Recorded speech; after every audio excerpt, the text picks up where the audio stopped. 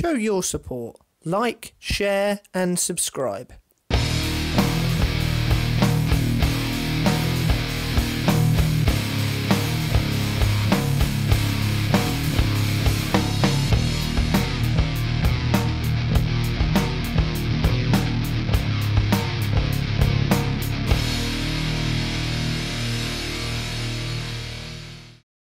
Hello, I am that British guy, and welcome to my discussion video for all of the PlayStation Plus games for PlayStation 4 in the month of September. I will be going through the following games Infamous Second Son, RIGS Mechanised Combat League, and Child of Light. I will be giving a brief overview of the game, a bit of an insight in terms of the gameplay, as well as the visuals and the sound for each of the games. And then at the end, I'll be rating it buy, try, or fly. Then I'll be rating these games buy, where I think it's worth just buying this game for market value. Try, whereby it's certainly worth trying it now that it's a free game till the end of the month to see if you like it yourself.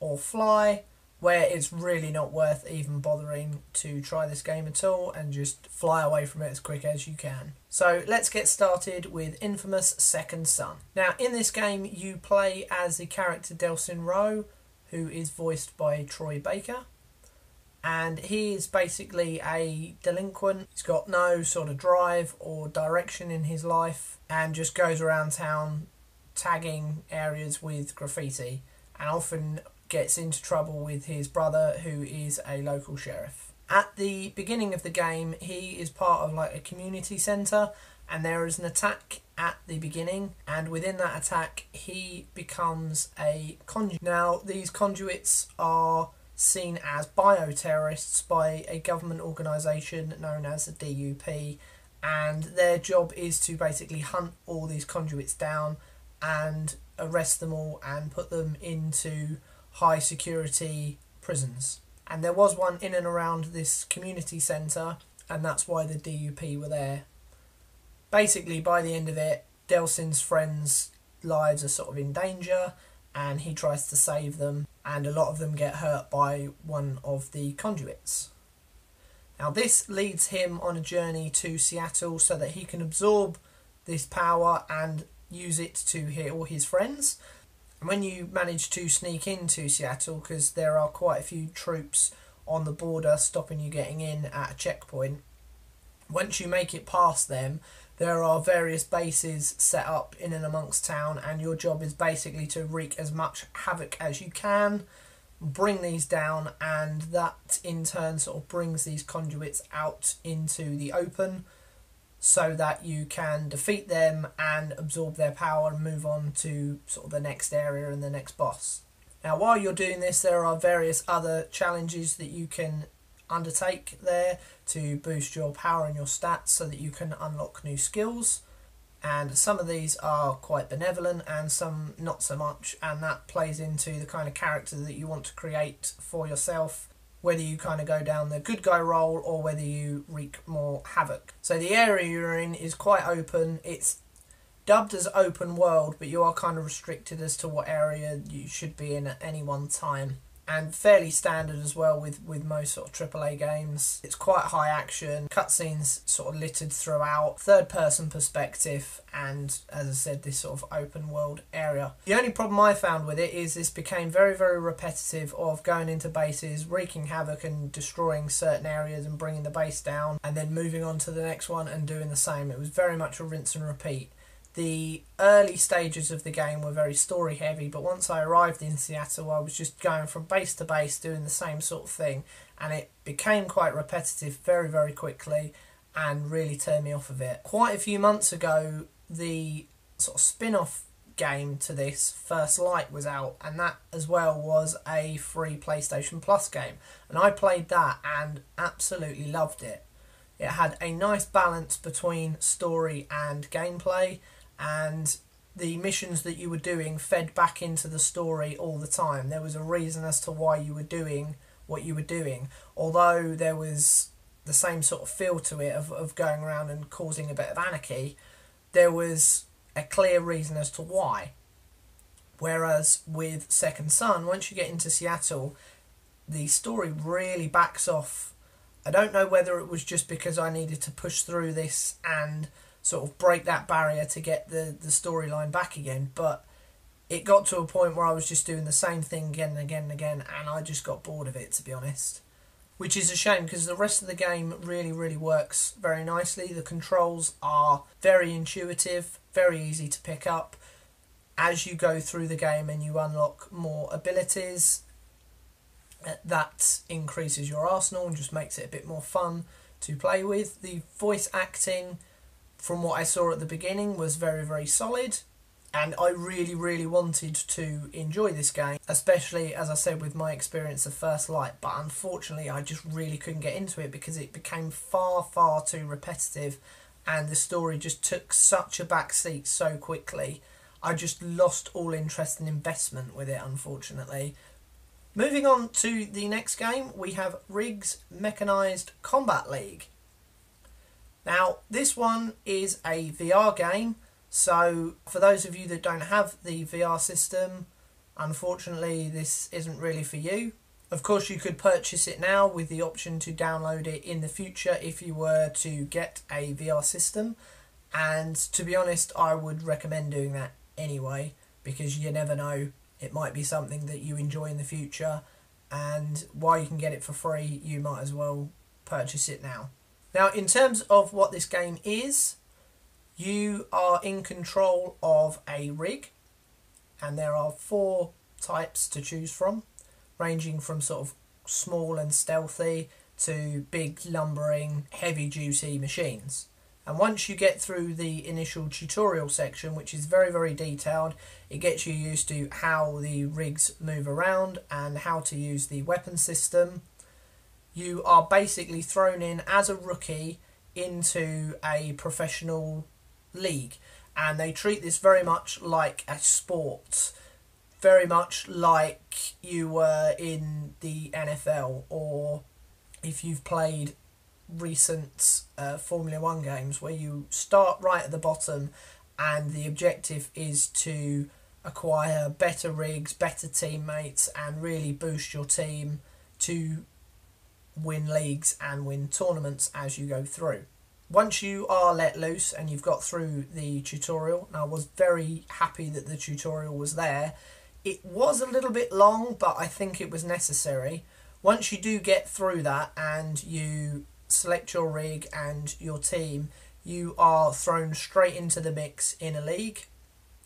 And what's nice about this as well is there are various different game modes, so you're not playing the same match again and again and again. There are sort of death matches, there are ways of going into overdrive and actually scoring a goal by going through hoops. And you are graded in terms of the team and individually as well.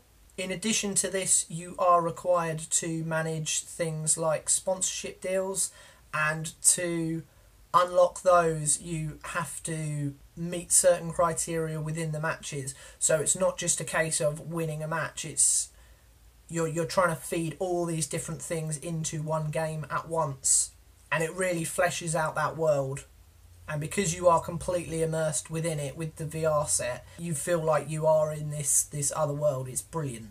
The only major negative with it other than the fact that for me and I do unfortunately suffer with this quite a bit when playing VR games is I can only play in small bursts I don't know what it is, but if they're very fast paced games like RIGS is, I feel a bit nauseous and a bit wobbly, but that is just me, and it's not just this game that does that to me. There are other sort of fast, high paced VR games that do do that to me, so I'm not going to penalise the game itself for that because that is something that affects me personally, and I know that the VR system affects different people in different ways, so maybe that doesn't affect you, in which case you can enjoy it for hours and hours on end. But the main drawback I found with this is very, very difficult at the beginning, and I don't know how long I've got to stick with this very, very difficult initial curve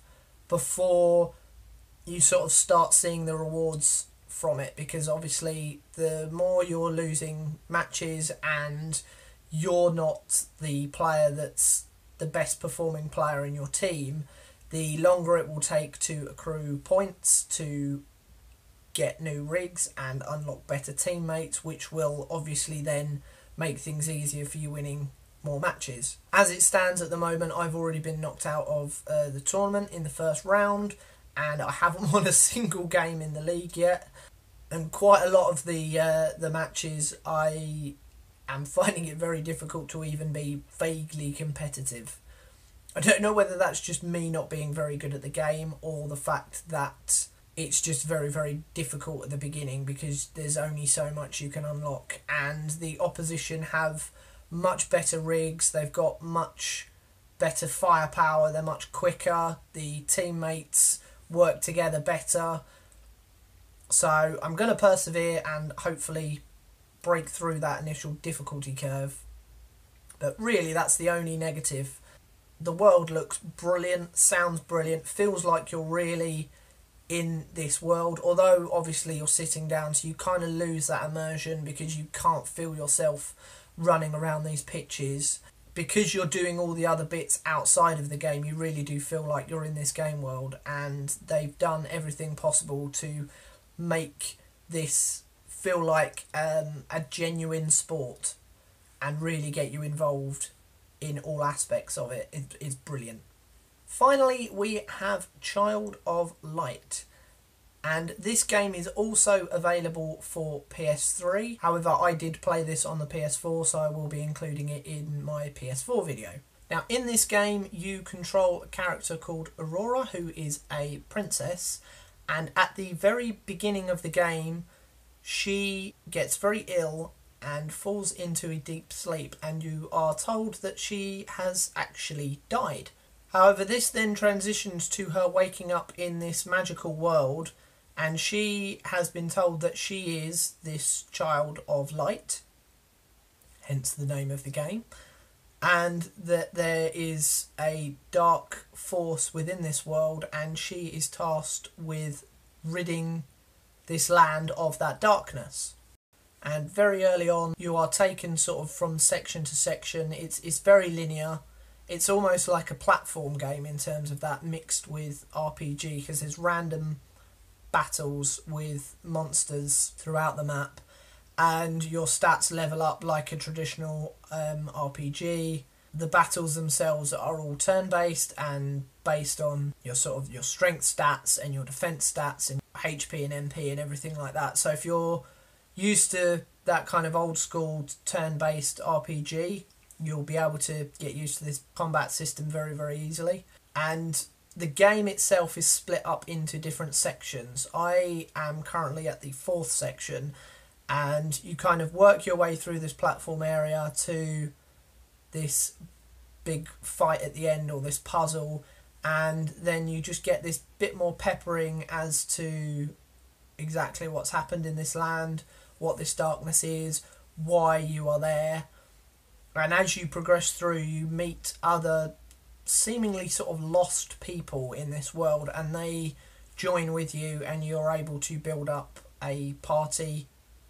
So it's not just you against the world. You you meet sort of new friends and build up this party together and basically move from section to section in order to rid the land of this darkness. As it stands at the moment, not a lot has been revealed to me, but it's very, very engaging. The gameplay itself is very, very easy to pick up. The art style is very cartoony and looks beautiful on the PS4. The sound along with it, it's kind of old style medieval type with a sort of basic fantasy element so it sounds really nice as well. And I mean, by no means is it going to set the world alight. This isn't a new concept that has been tried here, but it's a very, very nice game to play, really.